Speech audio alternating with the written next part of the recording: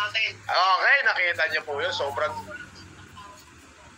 Oh, nakita niyo po, wala raw daw siyang kwentang tao sa mundo pero tinanggap niya yung challenge ko.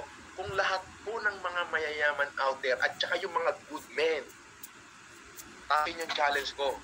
Wow! Maka, makakasurvive po tayo. Ito pa isa. para mamigay din, din ng mga tulong, kunting tulong. Oh, ito. Salamat ah, Francis Leo Marcos at magandang hangarin mo na makatulong sa mga kababayan natin na, na nangangailangan ng tulong lalo sa panahon ngayon. So, narito ako, narito ang kumpanya ko, I accept your challenge. Ganito nga, nagpadala ko ng limandang bigas. Wow! Kapatid! Palak! Pakan nyo! Grabe! Ano nito? Wow! June Abestilla Fabregas! Marami naman talagang pera para tumulong. Pakinggan natin. Kapwa natin mga Pilipino. Mahindot kayo, tumulong naman kayo. Kasi mahirapan ang gobyerno natin na tulungan lahat. So, Mga kababayan, sandali po ah, ulitin ko to, ulitin ko to. kailangan tayo tumulong. Ulitin ko po ito, ulitin ko po ito.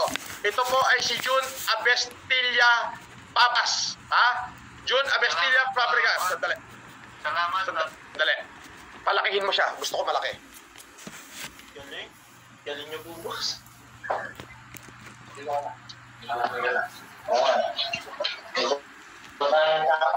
Ito po, si June Abestilla Fabregas.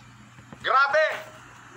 Limandaang kaban po ang dinonate niya. Ay, Leo Marcos at magandang hangarin mo na maka sa mga kababayan natin na, namimik na nangangailangan ng tulong lalo sa panahon ngayon.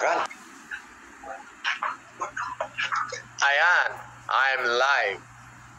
Okay, pasensya na po kayo mga mga ka FLM fever.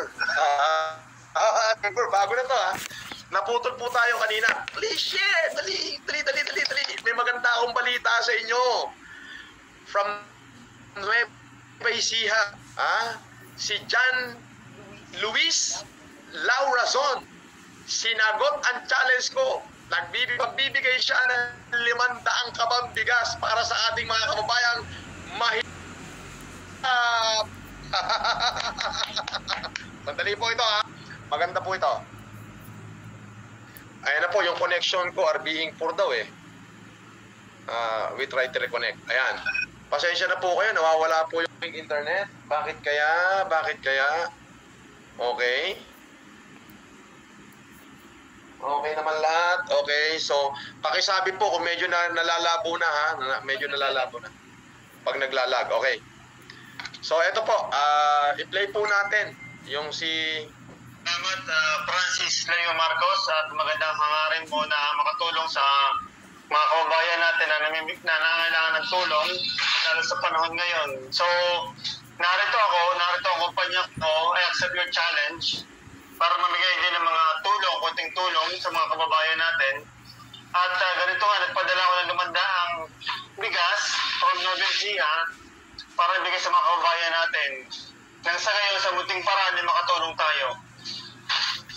So sa mga mayayaman dyan na nakaupo lang sa bahay, na marami naman talagang pera para tumulong sa kapwa natin mga Pilipino, mga hindot kayo, kasi mahirapan ang gobyerno natin, natulungan lahat. So kung tayo naman ay nakaangat sa buhay, may kakayahan tayong tumulong, so mamigay tayo ng tulong sa mga kapwa natin. Ngayon natin malalaman ang pagiging makatao natin sa ganitong sitwasyon. So tumulong tayo. At ah, sa lahat dyan ng ah, buong Pilipinas, buong Pilipino na kayang tumulong, hinikayat ko kayo sumama sa amin para magbigay po ng tulong sa mga tao na nangailangan. Para malagpasan natin ang ganitong sitwasyon. At sa mga tao naman po na nawawalan na po ng pag-asa dahil ah, nahihirapan po sa ganitong problema, huwag po kayo mawala ng pag-asa, magdasal lang po tayo at dahil po ang tulong, dahil po ang tulong sa inyo.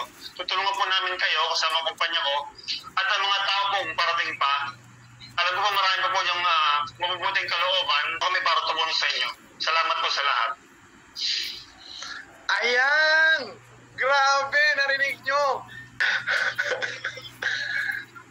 ah, Grabe, di po ba? Please share this video. Please share nyo po. Share nyo to. Ito. May connect, reconnect. Ayan, magre-reconnect po tayo. Ayan. Kung sakaang mawa, may backup.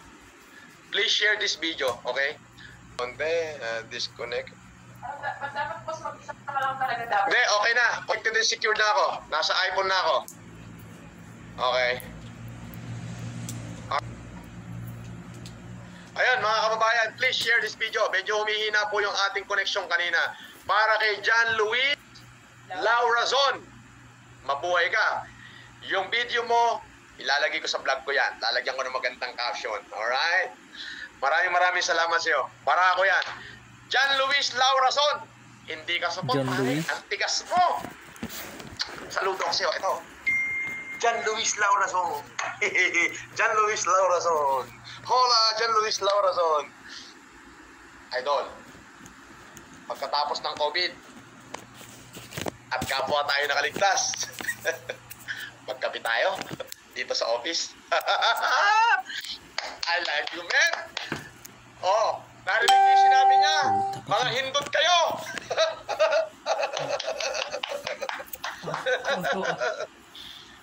Yan po yun. Wala po ako tigatahol ngayon. Wala po si Apatat. Ayun po yung sinasabi ko. Anyway, ulitin ko po. Ito po yung ginawa ng aking magulang na babae. Binigyan kayo. Yung aking magulang na babae ay nagluwal ng isang bata ha, sa aking katauhan. Ha? Isang makabayan. Kaya huwag po kayo sa akin magpasalamat. Magpasalamat ho kayo sa Diyos.